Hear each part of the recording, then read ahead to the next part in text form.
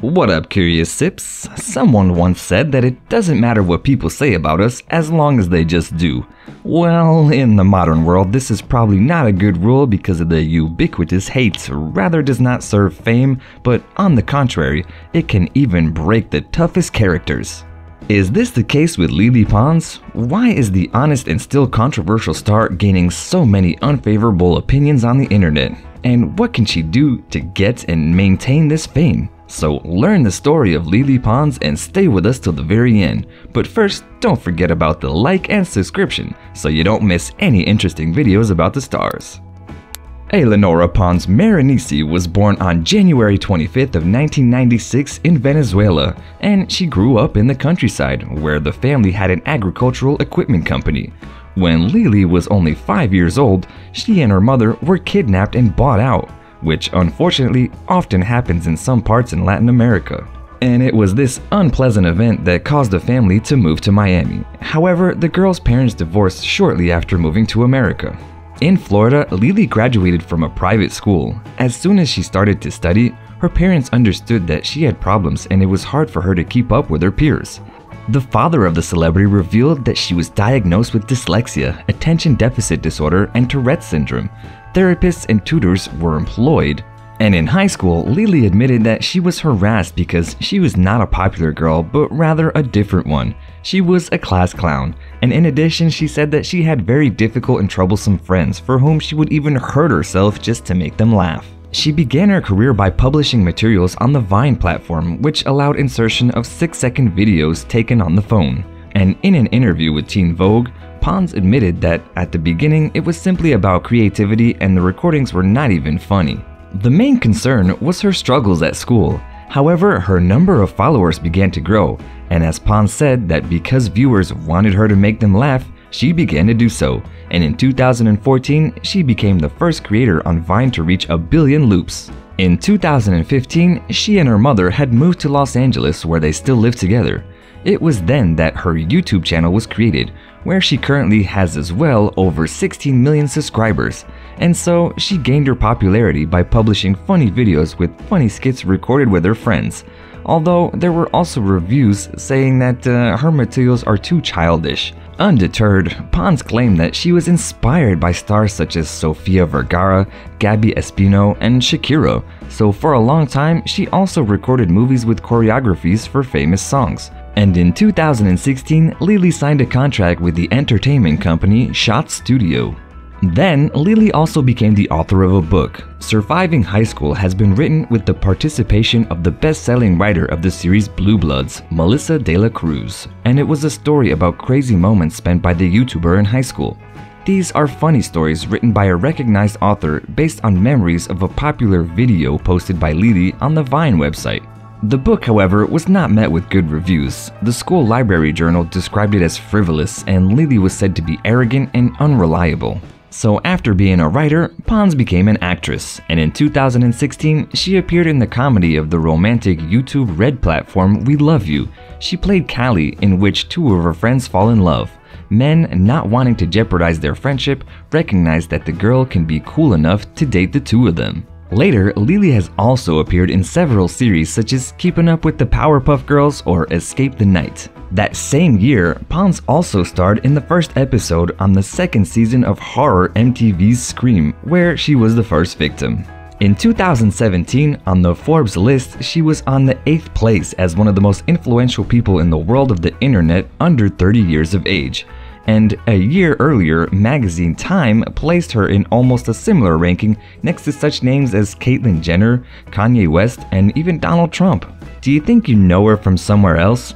For sure, the YouTuber also starred in clips for songs such as She's Out of Her Mind by Blink 182, Summer Marshmello, and she also appeared in the music video of Camila Cabello in her mega hit Havana. Pons played the sister of the singer, and working for the set brought the girls so close that they are still friends today. Maybe it was under the influence of a new friend that Lele also wanted to sing. Her lyric video for the song Downtown Anitta and J Balvin from 2017 has already been watched over 315 million times. But it wasn't until May of 2018 that Pons released her debut single, a Spanish language duo with Matt Hunter under the title Dicen. The YouTube music video got 10 million views in just 4 days. And in August, she recorded a clip for her number Celoso, which of course she shared on Instagram. The song was covered three times with platinum, and then in March of 2019, Lele released her debut song in English and her first country song. It was a duet with Jake Owen entitled Senorita from his album Greetings from Jake. And in December, another Pons single and music video was released, Vere Pala. In addition, she was co-host on the red carpet at Billboard Women in Music of 2019 that same month. Lele Pons talked about the importance of music for her at the CES 2020 conference in Las Vegas, where she was a speaker as an entertainer and digital media artist. She spoke with Spotify content director Dawn Ostroff and said that this platform not only revolutionized music but also influenced her career. She also mentioned that she's going to create her podcast on that platform. Could anything else Lele do in her short career? Of course, she was also successful in modeling. In February of 2017, she became the brand's ambassador for CoverGirl, and she went to Dolce & Gabbana's show in Milan that same month. And do you know that Pons' favorite animals are crocodiles?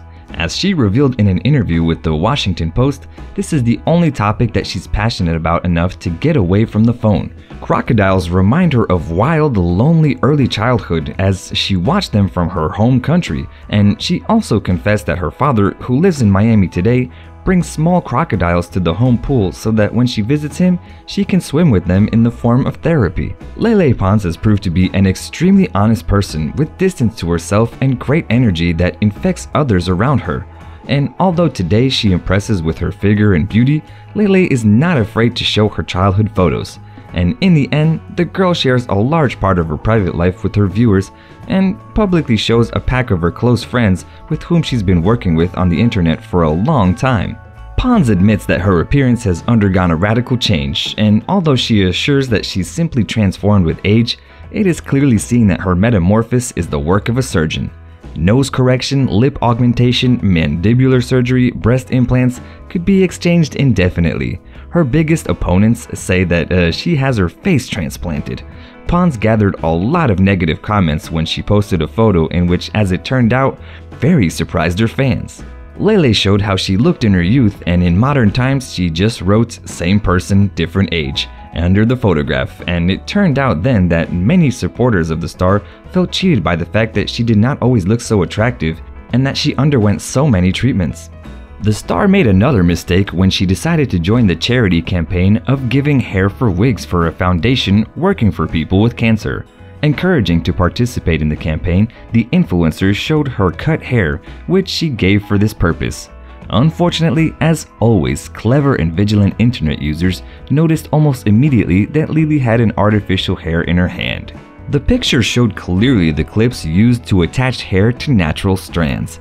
Angry people wrote that such hair cannot be given to the foundation, that Lily cheats people for publicity, and that she shouldn't make a sad face because she will have long hair when those will be attached again. But there is more. Under the influence of negative comments, Pons removed the photo and responded to it. She explained that she really wanted to show how many centimeters of hair she cut, and only after the fact she learned that it's impossible to donate to the foundation dyed strands. Internet users, however, did not believe her explanation and decided that she was selfish and did so only to promote her person. Anyway, Lily Pons, despite many fans, also has a large group of opponents. People who speak negatively about her have even created a kind of group and on YouTube published their video about how they hate her, just mentioning titles like Lily Pons is bad, what's wrong with Lily Pons, Lele Pons is still bad, the rudest YouTubers I've ever met. Her manager confirmed that the YouTuber receives many unfavorable comments and many people are waiting for her to fail. So how does she deal with it? In an interview with the Washington Post, Lily admitted that she notices that the hate is growing in current digital media, that people are becoming more vulnerable and are easily angry and quickly offended. And in addition, if they have the opportunity to hurt or destroy someone, there's a good chance that they will use it. That is why she decided not to reveal anything or to ever show herself crying. According to Pons, her material, although based on her experience, are not very personal, and when she has a problem or is sad, she goes to talk to her mother. In this context, it seems strange that Lily Pons has just published a five part document in which she describes how she has struggled with her mental health all her life. The premiere of her series entitled The Secret Life of Lele Pons took place on May 19th of 2020. She admitted, I have struggled with OCD, Tourette syndrome, and other mental health conditions since I was a young child. I was embarrassed for a long time, but I eventually realized I needed to come out with the truth and to live the healthiest life I could. Pons revealed that she was undergoing severe therapy, but said that she was ready to make her experience public, and that she wanted to do it in hope that she would help people going through the same thing. The document was created under the auspices of YouTube and is available for free every Tuesday, and the YouTuber shows it even in her worst moments. And what do you think, my curious people? Will the fans accept this new face of Lily Pons, or will they even receive this private document negatively? Do you like Lily Pons anyways? Do you think she's honest, or is all of her actions just a creation?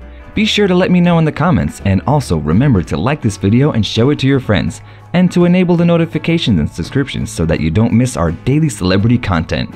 So see you guys soon!